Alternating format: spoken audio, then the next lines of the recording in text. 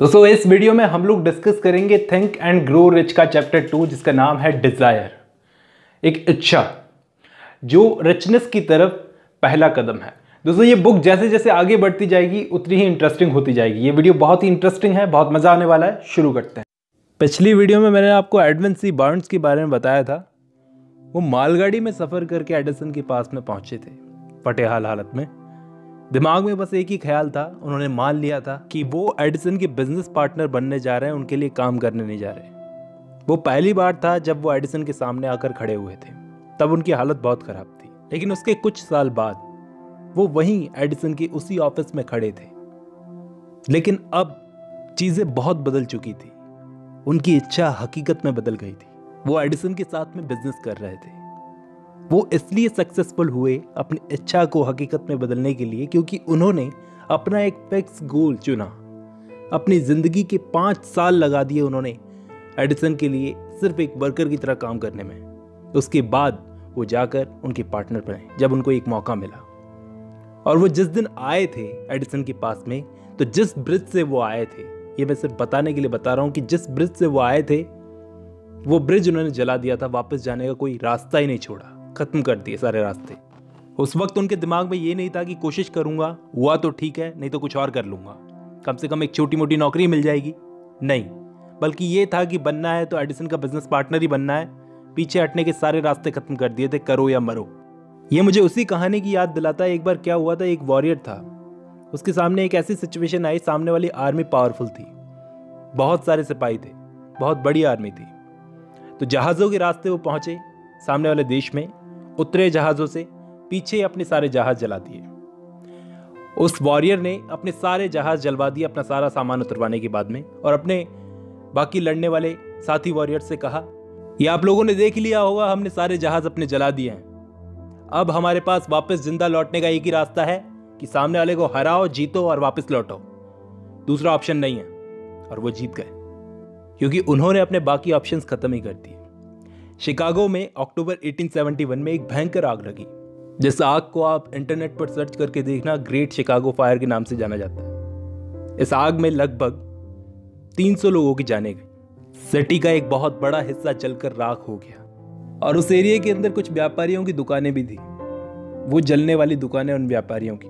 आँखों के सामने जलते हुए देखा तो सारे व्यापारियों ने कहा कि चलो कि इस सिटी को छोड़कर कहीं और चलते हैं जहाँ पर हमारी ज़िंदगी हम साकार कर सकें। उन्हीं में से एक व्यापारी था। अपने पुराने स्टोर की राख की तरफ़ उसने उंगली दिखाते हुए कहा कि इसी जगह पर मैं दुनिया का ग्रेट स्टोर बनाऊँगा। यहीं बनाऊँगा चाहे ये कितनी बार भी जल जाए। मैं इस सिटी को छोड़कर कहीं नहीं जाऊँगा, आप लोगों को जाना है तो जाओ। और वहीं उसका वो स्टोर बना, ग्रेट स्टोर बना।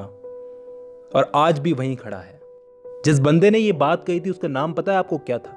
मार्शल फ़ील्ड, अमेरिकन आंट्रप्रन्योर अब फ़र्क समझ लो उन लोगों में से जो वहाँ से चले गए। वो वो लोग थे जो ज़िंदगी में असफल रहने का जिन्होंने विकल्प चुना, जिन्होंने जरा सी असफलता आते ही अपना रास्ता बदल दिया। लेकिन ये बंदा डटा रहा। ये कहीं नहीं गया। पैसा आता है। अगर ऐसी इच्छा हो दिलो दिमाग में जो हावी हो जाए तो पैसा आता है। छह तरीके यहाँ पर बताएँ पैसा कमाने के। छह स्टेप्स इस बुक के सेकंड चैप्टर में। बहुत ज़रूरी है, थॉमस एडिसन भी इस बात को मानते थे। पहला स्टेप है, दिमाग में तय कर लो कितना कमाना है। ये नहीं कि ढेर सारा कमाना है, एक फिक्स अमाउंट तय कर लो कि कितना कमाना है। इसके पीछे एक साइकोलॉजिकल रीजन है, जो अगले चैप्टर में जिसकी हम बात करेंगे। दूसरा दूसरा स्टेप है, जितना पैसा आप चाहते हो, उसके बदले में आप क्या दे सकते हो? क्योंकि इस दुनिया में कोई भी चीज़ नहीं है जो मुफ़्त में मिलती हो। कुछ ना कुछ देना पड़ेगा, चाहे टाइम चाहे कुछ भी। तीसरा स्टेप है, एक फिक्स डेट तय करो कि इतने टाइम में तो कमाई लूँगा। ये पक्की डेडलाइन है। चौथा स्टेप है, एक पूरा प्लान तैयार करो कि किस तरह से होगा और काम में लग जाओ। पांचवा स्टेप है, ये सब चीज़ों का एक ब्यौरा बनाओ। फिक्स डेट का, प्लान का, जितना पैसा कमाना चाहते हो उसका। और लास्ट स्टेप है, इस सारे ब्यौरे को दिन में दो बार पढ़ो, सुबह और रात। अगर वाकई पागलपन होगा, एक दीवानगी होगी कि मुझे पाना ही है, मुझे पाना ही है तो मिल ही जाएगा। थॉमस एडिसन भी इन छह स्टेप्स को मानते थे। वो सिर्फ़ पैसा कमाने के लिए इसमें नहीं मानते थे। वो कहते थे कि ये छह स्टेप्स कुछ भी करवा सकते हैं। और इतना बड़ा सेक्रीफाइस भी तुमसे नहीं मांगते ये छह स्टेप्स उनके कहने का मतलब था कि बस सब कुछ किस्मत पर मत छोड़ो।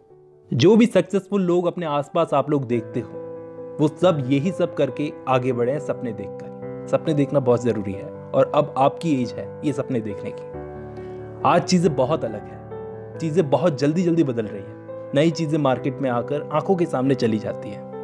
और दुनिया को हर वक्त नया चाहिए। तो इस दौर में मौके आते हैं और चले जाते हैं। तो ये मौके बढ़ गए हैं। कुछ नया सोचो, दुनिया को कुछ नया दो। क्योंकि दुनिया में वही लोग सक्सेसफुल हुए हैं, जिन्होंने छुपे हुए मौक़ों को देखने की एक नज़र रखी है। उन्हें प्रैक्टिकली अप्लाई किया है। इन लोगों से सीखना होगा, जैसे कि एडिसन, दस हज़ार बार अनसक्सेसफुल होने के बाद में जुटे रहे और बल्ब बनाया। राइट ब्रदर्स, हवाई जहाज़ बनाया। सपने देखना बहुत ज़रूरी है। उस वक्त इन लोगों के लिए बहुत प्रॉब्लम्स थी, क्योंकि उस वक्त लोग इनको बेवकूफ़ समझते थे, पागल समझते थे। क्योंकि उस वक्त दुनिया खुद समझदार नहीं थी, लेकिन आज लोग समझदार हैं। दुनिया समझती है, नए इन्वेंशंस को समझती है। हर सक्सेसफुल इंसान ने अपनी ज़िंदगी में कोई ना कोई बुरा वक्त देखा ही है। ऐसे बहुत सारे एग्जाम्पल्स हैं, जैसे कि जॉन बनियन। जिस वक्त उन्होंने पेलग्रिम्स प्रोग्रेस नाम की बुक लिखी थी, उस वक्त वो जेल में थे। ओ हेनरी, कितनी सारी कहानियाँ पढ़ाई है। ओहियो की जेल में उन्होंने अपने अंदर का राइटर जगाया। चार्ल्स डिकेंस बचपन में बोतलों पर लेबल चिपकाते थे। और वही चीज़ें उनकी राइटिंग्स में आप देख सकते हो कि उनकी आत्मा कितनी दुख पाती थी जब किसी बच्चे को वो काम करते हुए देखते थे।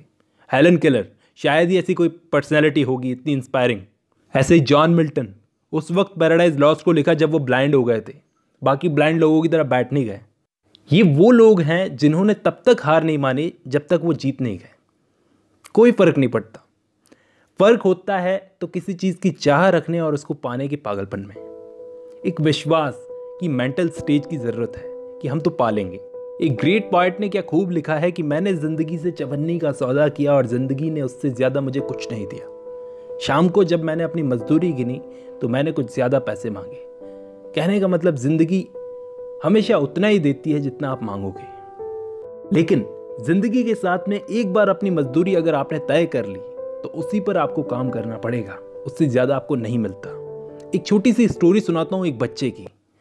मैंने पैदा होते ही उस बच्चे को देखा, उसके कान नहीं थे।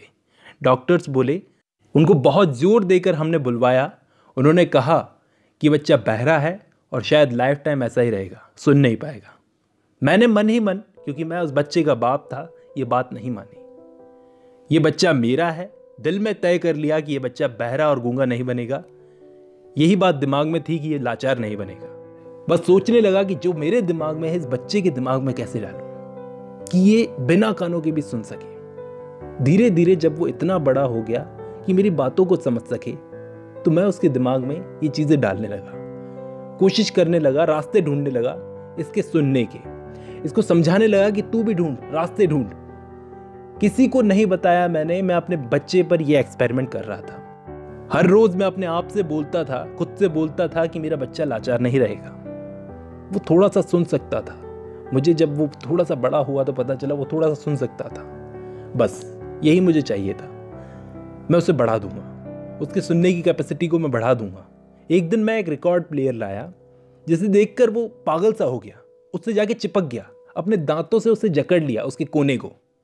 वो काफ़ी देर तक उसको सुनता था। कैसे सुनता था ये पता नहीं चला। सालों बाद मुझे पता चला कि उसके सिर के नीचे की हड्डी पर अपने होठ लगाकर अगर मैं बोलूँ तो वो साफ़ साफ़ मेरी बात को सुन सकता था।